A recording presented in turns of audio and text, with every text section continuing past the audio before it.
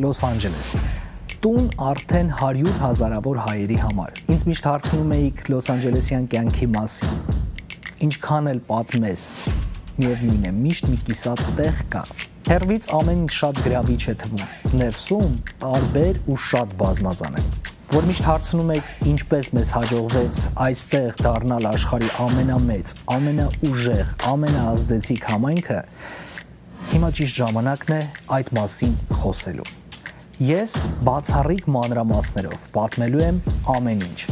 Դուք ինձ հետ գալու եք այս ճամփորդությանը, որպեսզի բացահայտեք անծանոթ Լոս Անջելեսն ու ամենաուժեղ, ամենաազդեցիկ, ամենահարուստ հայերի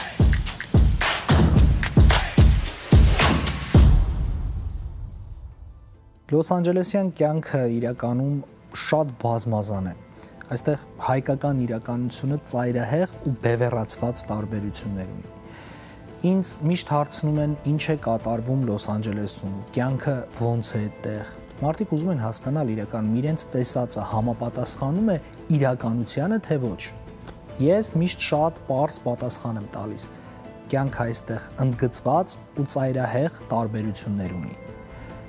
Սա իհարկե նախաբանն է միայն։ Հետո երկար սկսում եմ պատմել, թե ինչպես են մարդիկ այստեղ տարիներով ապրում, ստեղծում, ուժեղանում, ինչպես են ազդում աշխարհի գերհզոր տերության ընդհանուր քաղաքականության վրա, կյանք փոխում առհասարակ։ Մարդիկ զարմանում են, չեն հավատում ու ընկերներից մեկը ես հիշում եմ մի օր ասում էր բա ոնց է լինում որ անորակ աղմուկը Լոս Անջելեսից ավելի բարձր է հնչում Պարս մարդիկ աստղ չեն Եթե սկանդալներն ու ինտրիգները ուղեկցում են միայն աստղերին, սելեբրիթիներին, ուժեղ մարդիկ փորձում են ուղակի հեռու մնալ տեսախցիկներից, բայց միևնույն ժամանակ նրանք եղանակ են փոխում։ Այստեղ Միացյալ Նահանգներում կրկնում եմ աշխարհի գերհզոր տերությունում ու հիմա ժամանակն է հենց նրանց մասին խոսենք։ Ու շատ, թեկուս հենց այսպես, ռեալիթի շոուի տեսքով։ Thank you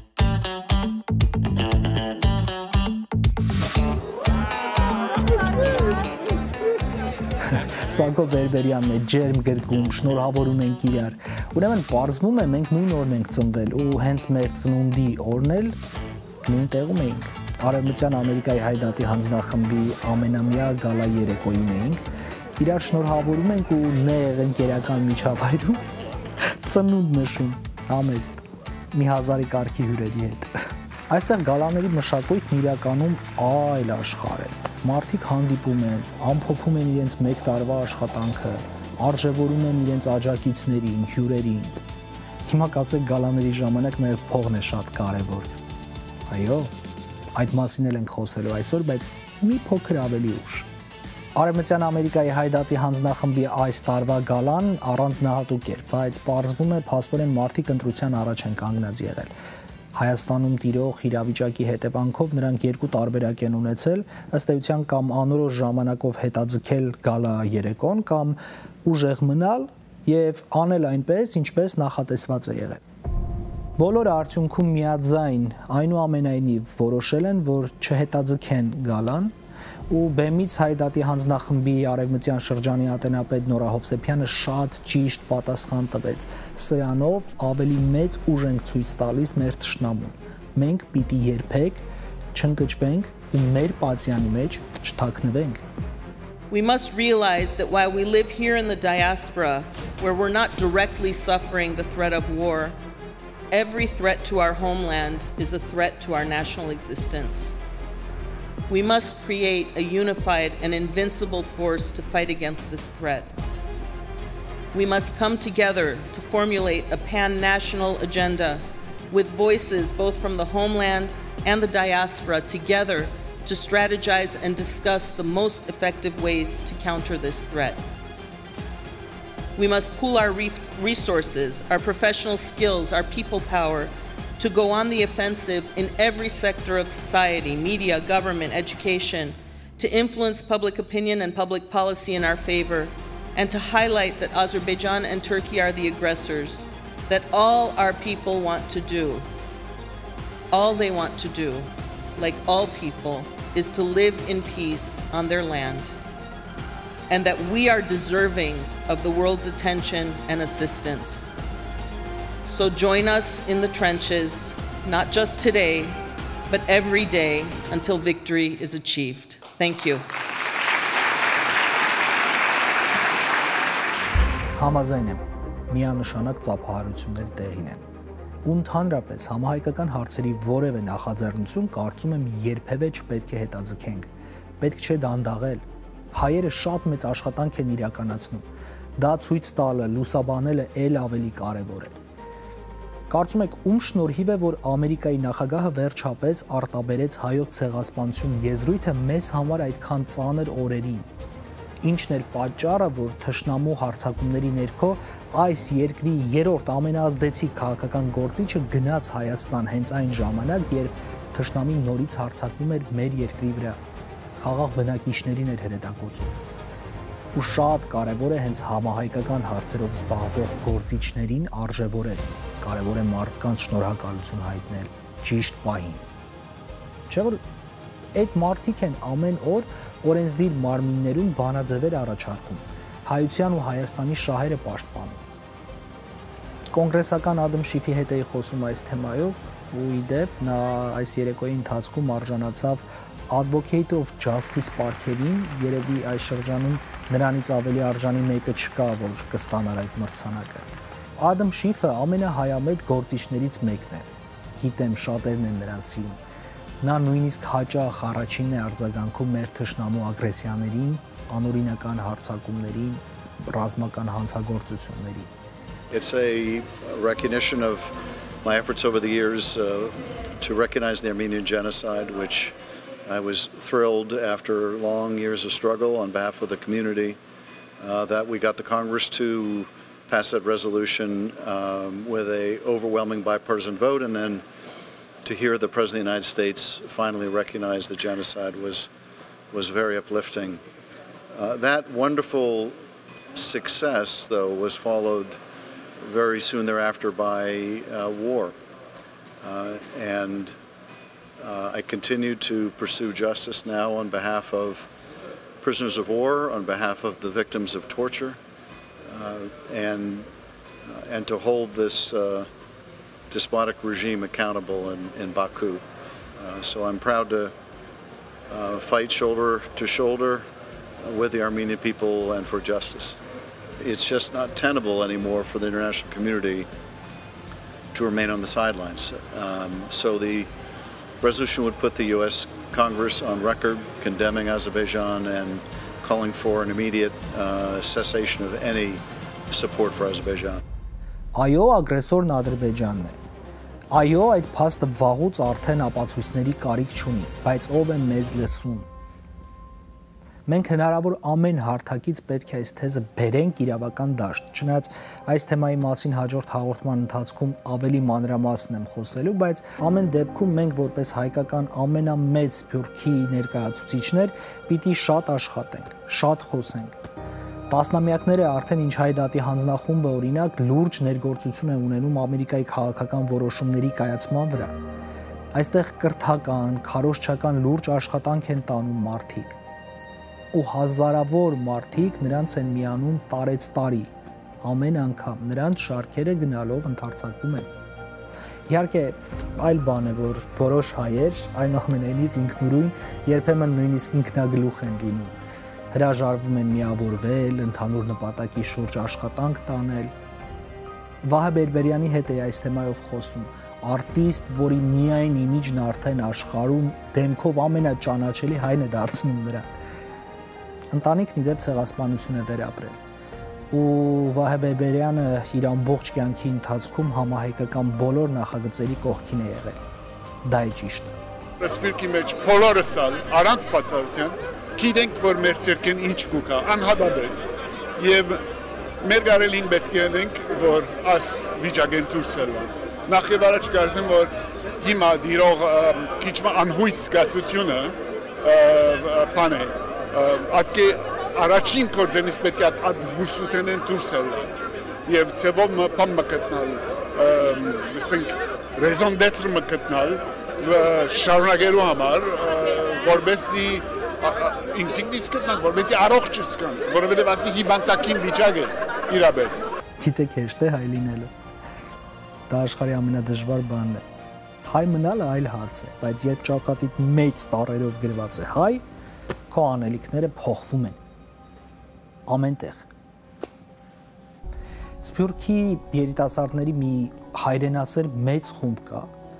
որ հաճախ մեղքի զգացողություն են ունենում ապրելով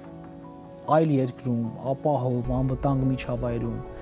բայց միևնույն ժամանակ նաև գիտակցելով, որ իրենց նման հայեր, իրենց բարեկամները, մերձավորները, ազգակիցները ապրում են սահմանին, կռվում են, պատերազմում են, անապահով են Իդեպ այս թեմայով Fox 11-ի հայազգի լրագրող հաղորդավարուհի իմ լավ ընկեր Արաքսիա Կարապետյանի հետ եմ խոսել։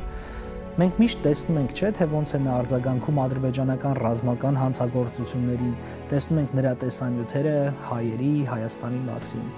Եվ ի վերջո մարդ նաև էմի ստացավ։ Դա իհարկե այլ թեմատիկայի տեսանյութի համար էր, որի մասին հուսամ մենք դեռ առիթ կունենանք խոսելու VIP Talks-ի շրջանակում ու իդեպ ուզում եմ նաև հիմա մի գաղտնիք բացել բոլոր հերոստանգերությունները աշխարհում ունեն իրենց խմբագրական քաղաքականությունը պետք է հետևես լսարանիդ կարիքներին, պահանջներին, անպայման պետք է ուշադրություն դարձնես ժամանակին ու արդիականությանը եւ կարեւոր է որ հավասարակշռությունը պահպանես Այս ամենից ելնելով հիմա պատկերացրեք, թե ինչ դժվար է Արաքսիայի համար օրինակ parberabar անդրադառնալ հայկական թեմաների։ Այստեղ երևի սխալված չեմ լինի ասել, ամենաբազմազգ, ամենատարբեր մշակույթներ կրող լսարանն է, որը շատ պահանջկոտ է։ I think it's challenging because I have to show people why they should care and pay attention to things that are happening to Armenia. Here in Los Angeles, people know what Armenia is and Armenians are because we have such a big community, but um, that works in my favor in many ways. So I'm always trying to think of stories or ways of telling a story that appeals to all people and really appealing to the humanity of people. Because for example, when the war happened or what's happening right now, um, people might not understand, you know, the depth of the history and why this is happening and why they should care and why this should matter. But you're able to speak to people's hearts and you're able to appeal on a human level, then all people are able to understand that. And so my challenge is to always be mindful of that and how to tell a people story. It's not just about Armenians, it's about people, it's about humanity. Ամենադժվարը 44-օրյա պատերազմի օրերն էին։ Օր ու գիշեր բոլորս աշխատում էինք ու ով ինչպես կարողանա, ամեն գնով ուզում էր ինչ-որ մի ձև օգտակար լինի մեր ազգին։ Հույսներս չէին կտրում։ Հետո հետոյի մասին կարծում եմ վերլուծելու շատ ժամանակ այնուամենայնիվ դեռ կունենանք։ Հետոն դեռ չի եկել։ Հիմա ճիշտ ժամանակն է ամեն մեկս մեր մասնագիտության մեջ մեր ներդրումը բերենք որպես հայ օգնենք Հայաստանին ու ուղակի խոսքերից այն կողմ գնանք։ Քանի դեռ հայկական հարցը բացել ունի ու քանի դեռ ամեն օր վախի ու ցրտի մեջ արթնացող երեխաներ կան սահմանին, մենք պետք է ավելի ուժեղ լինենք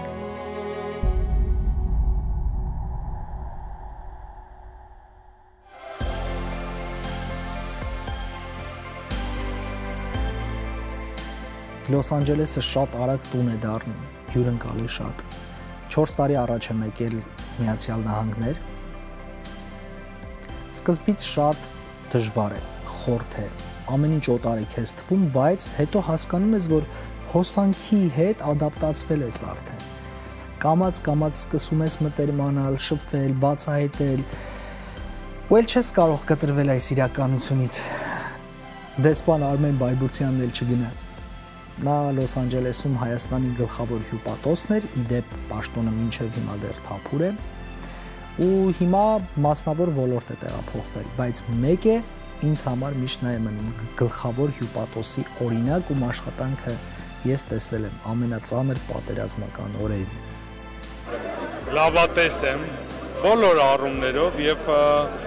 իսկ ընդհանրապես թե հայրենիքի, թե սփյուռքի տեսանկյունից, այն ինչ որ մենք միշտ ենք խոսել, մենք էլ մեր բազմաթիվ ուրեմն առանձնազրույցների ժամանակ այդ կամուրջը ավելի պետք է ուժեղացնենք բոլոր ձևերով, ոչ թե մի դե, չկա մի դեղատոնց, մի սպեղանի, որ ասենք սա է։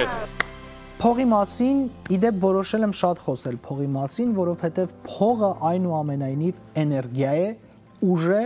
ու նաև փողը ուժ է տալիս եւ ուժ է ցույց տալիս։ Արեմտյան Ամերիկայի հայդատի հանձնախումբը այս տարի իր համար աննախադեպ 1.1 միլիոն դոլար գումար հավաքեց նվիրատվությունները շատ կարևոր են Միացյալ Նահանգներում ու հատկապես եթե հաշվի առնենք թե ինչ ճանապարհ կա դեռ անցնելու, հաշվի առնենք թե ինչքան մեծ ծրագրեր կան իրականացնելու, այս գումարը երևի նույնիսկ մի քիչ ավելի քիչ լինի պետք է մեր staff-ը ընդլայնենք առաջին հերթին, որովհետև շատ կորց կա լալիք նաև մենք որոշ ծրագրեր ունենք ինտերներուն հետ կապված երդասարտներու, այսինքն համալսարաններեն ներս աշխատանք տանելու ճամփորդություններ ունելու Հայաստան տանելու որոշ պատվիրակություններ ամերիկյան կառավարական մարտոցմով եւ այլն եւ շատ աշխատանք կա լալիք աշխարհին հայերի մասին պատմելու համար փողից բացի նաև ու հատկապես մեծ հեղինակություն ու համբավ է պետք պետք է որ քեզ լսեն պետք է որ ուշադրության կենտրոնում լինես ու խոսքդ պիտի արժեքավոր լինի Եթե մենք խոսում ենք Լոս Անջելեսի հայ համայնքի մասին, բնականաբար առաջին էպիզոդում պարտադիր էր Քարդաշյան ընտանիքից որևէ մեկի ներկայությունը։ Արևմտյան Ամերիկայի հայդատի հանձնախումբը այս տարի Global Impact Award մրցանակը սահմանեց ու ապարգևատրեց երկու ազդեցիկ ամերիկահայ գործիչների՝ Էրիկ Իսրայելյանին եւ Քիմ Քարդաշյանին թիմը հատուկ տեսաուղերձով ելի անդրադարձավ հայության խնդիրներին ու հենց հիմա մեր երկրում տիրող վիճակին ուզում եմ լսենք այդ ուղերձը It is with heavy hearts that we accept this award because we know that Armenians have been attacked and displaced from their homeland. We cannot get discouraged and give up. We will continue to fight for justice and accountability for the Armenian genocide and for the need to support Armenia as an important regional democracy. Will we use our influence publicly and privately to do what we can. We will continue to work together with all of you and the ANCA to support the needs of the Armenian people. Thank you so much for this honor. Էրիկ Իսրայելյանը երեկոյին մասնակցում էր պրոդյուսեր, բժիշկ, ազդեցիկ կերպար, ում հետ ցավոք իմ հանդիպումները միշտ անցնում են աղմկոտ իրադարձությունների ժամանակ, բայց Այս անգամ ես որոշեցի առիթը բաց չթողնել եւ զրույցի ընթացքում նրան պատմել Արցախի սահմանամերձ շրջանների երեխաների մասին պատմող իմ փաստագրական ֆիլմը, ֆիլմի մասին եւ նրան ներկայացրի ֆիլմից մի փոքրիկ հատված։ Ուրախությամբ ուզում եմ ասել, որ հանդիպում ենք նախատեսել եւ հուսամ մենք ավելի բարձր հարթակներից աշխարհին կկարողանանք պատմել պատերազմի թոհուբոհով անցած երեխաների մասին։ Չնայած այս մասին ելի կխոսենք մի քիչ ավելի ուշ։ Հենց այդ նույն օրը հանդիպեցի կոնգրեսական Ջեքի Սպիրի հետ։ Լուրերի թողարկումներով արդեն ներկայացրել եմ մի քանի հայտարարություններ, որ կոնգրեսականն է արել, բայց մի պատմություն պատմեց շատ անկեղծ ու հուզիչ պատմություն, այդ դրվագը պահել եմ հատուկ այսօրվա համար։ Գիտեք, նա էլ է հայ, մայրական կողմից, մայրը հայ է, հայուհի է, ցեղասպանությունից փրկված հայերի ժառանգ է, Ֆրեզնոյում է մեծացել։ Հայրն էլ գերմանացի փախստական է եղել հրեական արմատներով։ Հիմա պատկերացրեք 50-60-ականների Միացյալ Նահանգները։ Այդ տարիներին հավանաբար Karen Lorraine Jacqueline Spear-ը դժվար թե պատկերացնել, որ մի օր ինքը անձամբ դառնալու է իր ծնողներին օթևան տված արդեն իր հայրենիքը դարձած Ամերիկայի Միացյալ Նահանգների ներկայացուցիչ։